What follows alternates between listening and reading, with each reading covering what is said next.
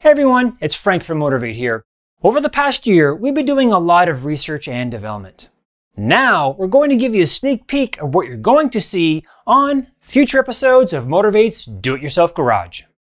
Have you ever wondered how hot the differential oil gets? Well, we did. So we figured out a way to install an engine coolant sensor from a Nissan Sentra in the drain plug of the differential and wired it to our homemade data recorder. Then we wondered about how hot the gear oil in the manual transmission gets. So we installed another engine coolant sensor in the drain plug of the manual transmission and also connected it to the data recorder. Now, moving on to the engine, let's look at fuel pressure. Using CJ Motorsport's 2-bolt fuel tap, we installed a 100 psi pressure sensor and recorded the fuel pressure 80 times per second while driving the car just to see how much it changes from idle to wide open throttle. And we have a pressure sensor connected directly to the crankcase and record the crankcase pressure 80 times per second.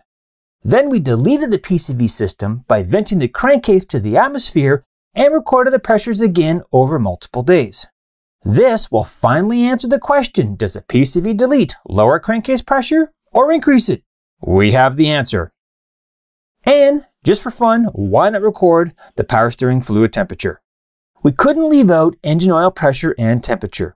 We installed a 150 psi pressure sensor and also recorded that 80 times per second.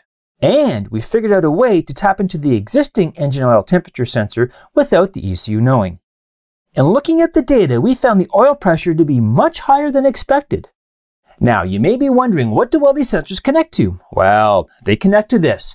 Motorvate's homemade, inexpensive data recorder that records 8 sensors 80 times per second, plus air temperature, atmospheric air pressure, humidity, and engine RPM. All the sensor data is written to an SD card in a comma separated value or CSV file that can be easily imported into a spreadsheet program for analysis.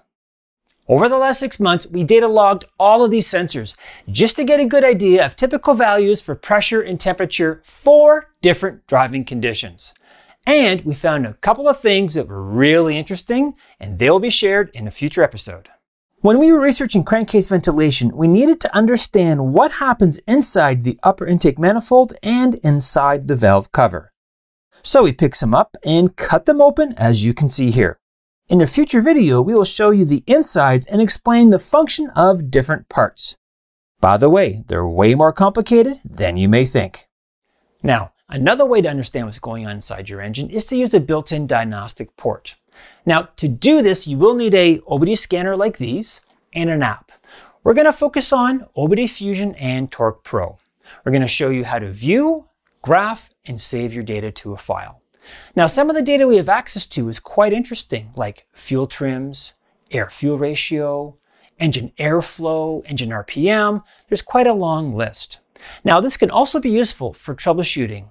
And of course, because it's an OBD app, we can also use it to find out why the check engine light is on and retrieve the code to start our troubleshooting. Now, I think you'll like this next item. As far as I am aware, there's nothing else like it for Nissan and Infiniti vehicles. We are developing a plug-and-play gauge.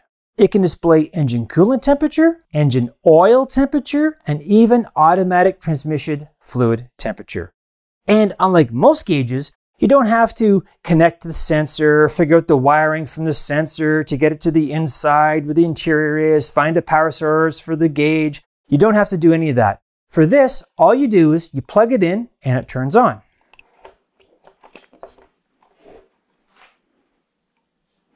There it is, Motorvate DIY. And there is our engine oil temperature and our transmission oil temperature.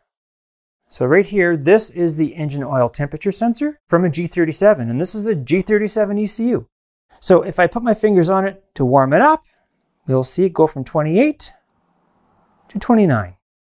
And this is a transmission control module from a G37.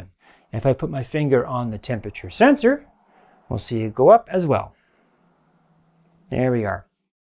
In looking forward, we're going to be evaluating if we should be making a Bluetooth app for this device.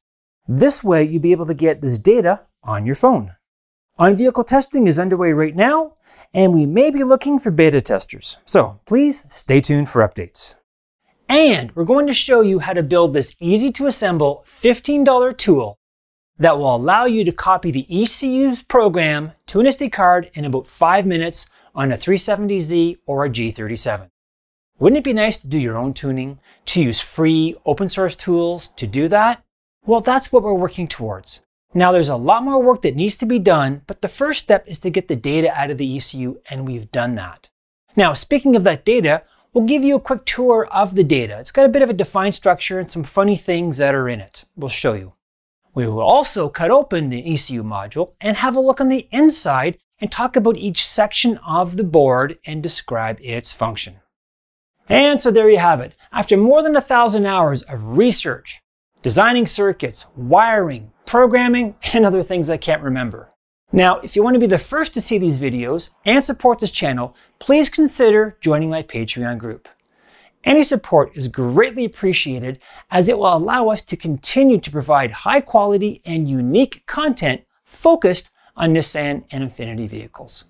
I think we got some great stuff coming your way. We've given you a teaser. Now it's time for me to get to work and get editing. Thank you for watching.